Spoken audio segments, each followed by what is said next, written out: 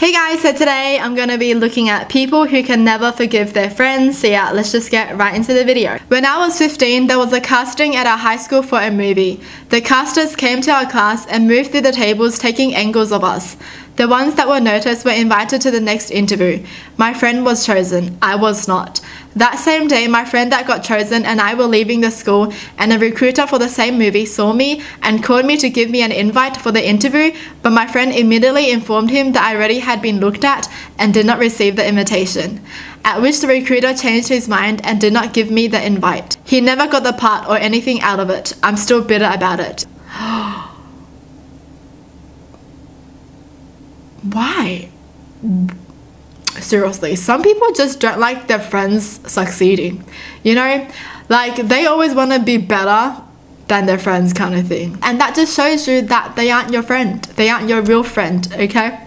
They're just there to use you to feel better, I guess. So I was 17 and a buddy of mine called me and was like, let's go get steak. We went to a really expensive steak place. We ordered more than we could eat and when the check came, he was like, I don't have any money, I'm broke. I had to pay roughly $200 USD. I still despise him for that move. The issue is not the money. Had he informed me beforehand, hey, I want steak from that place, but I'm broke, I'd gladly take him there on my treat without hesitation. But telling me that you don't have money when the check comes is a jerk move. What if I didn't have enough money?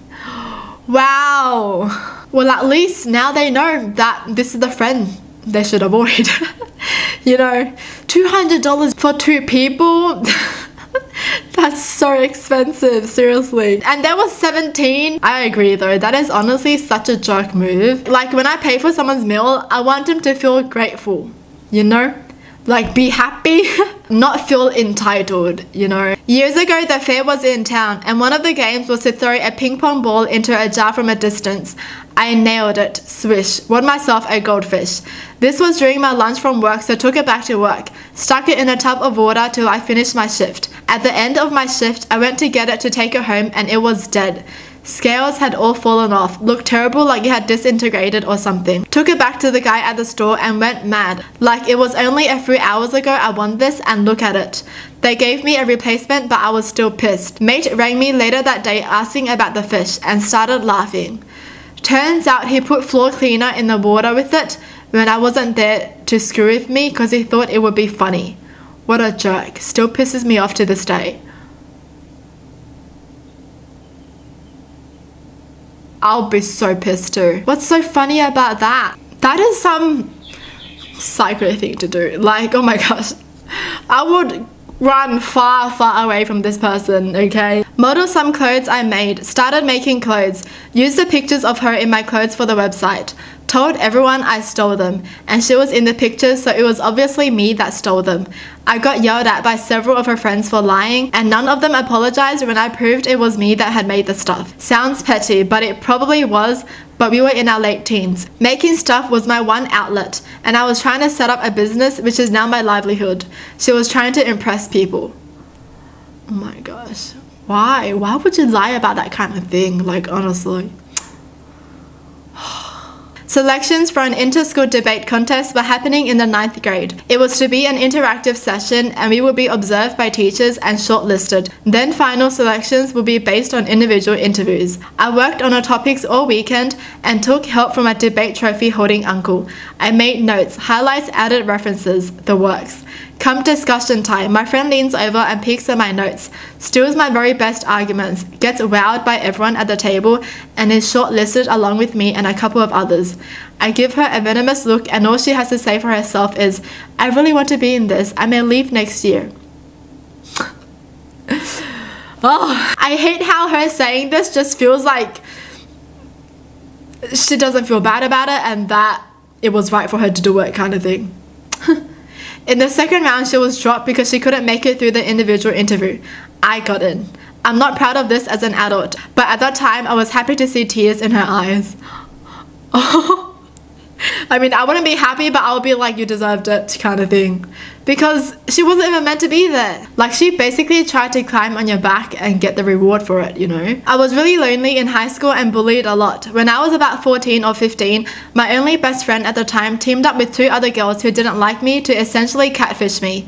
I don't know why, we weren't fighting or anything. Anyway, they pretended to be a guy romantically interested in me and emailed me out of the blue. They talked to me for months as this guy, before I trusted him enough to give him answers to really personal questions. Found out who he really was after they told everyone every scrap of personal information I told my online friend. And it was some pretty personal stuff. That's so mean. Why would your best friend do that to you? Like, seriously. Like, this could have gone very wrong. What's so funny about making someone open up to someone and then betraying them like that, you know? I had recently gotten engaged and my fiance and I were starting to look at venues to hold a reception. The wedding would be in a church. My parents weren't in a position to pay for the entire thing, so my fiance and I were going to pay for the most of it. I told my best friend at the time about one of the places we were going to look at, and she said, Don't you think that looks kind of cheap? I mean, I guess that if we really tried, we could have a nice wedding there, but your parents won't spring for something a little nicer. We can only put so much lipstick on a pig.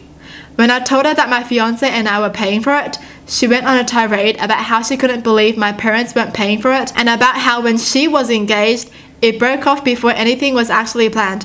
Her dad wrote her a blank check and she spent 10 minutes berating my parents. I calmly hung up the phone and never spoke a word to her again. We are getting married in April. The wedding is going to be beautiful and she is not going to be there to see it. she is totally salty because her engagement broke off and she's just salty about her friend getting married, you know.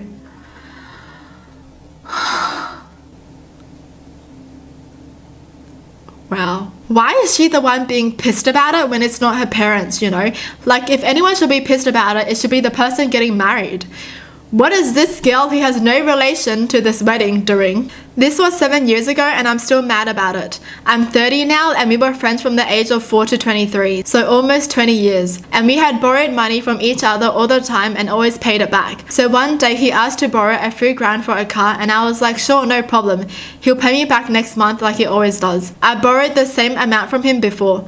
I transferred the money and then didn't hear from him for a few days so went round his parents and turns out he used the money to move abroad and set up a new life with a random woman he met online. I almost wish I could say it didn't work out, but they got married and had three kids and now live in a nice big house. But I gave him all the money I had at the time and it ruined me for quite a long time and I got into debt and other issues which just spiraled from that point. I knew which city he lives in but not much more than that and haven't had what I would consider a best friend again since. His friends just used that trust and threw it away. Wow.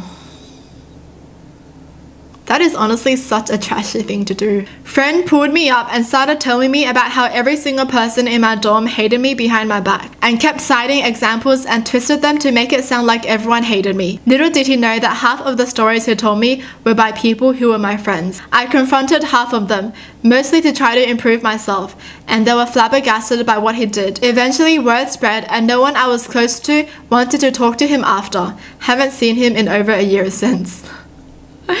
when you try to backstab someone but it turns out wrong. But then again, I feel like if someone is confronted about something they don't want to admit, they could lie about it, right? Because if someone's gonna come to you and be like, hey, do you hate me? Do you hate me that much? Obviously, you're gonna be like, no, I don't hate you. Who told you I hated you? So what if no one just wanted to admit it and they just used the other friend as a scapegoat? My best friend growing up stopped being friends because of a girl he just met. We became friends when we were four. He was three months older than me, so growing up we went to school. Our parents were friends. We went to the same church, so we spent most of our time hanging out. When we were 17, he met this girl, and after the first time she met me, she told him she didn't want him hanging out with me, right in front of me. Without hesitation, he told me to leave and never talk to me again. It's been nearly 20 years now. I see him about once every couple of years. He's married to her now. He's not allowed to have friends outside of her family and is completely miserable. His parents can't stand her because of how unbelievably rude she is to them and rarely lets them see their grandkids. It's been so long now that I could care less and barely know them, but it's not something I would forgive. Oh my gosh. That is like a sign of a toxic relationship. When you're friends with someone and then the partner is like, no, you can't hang out with them anymore.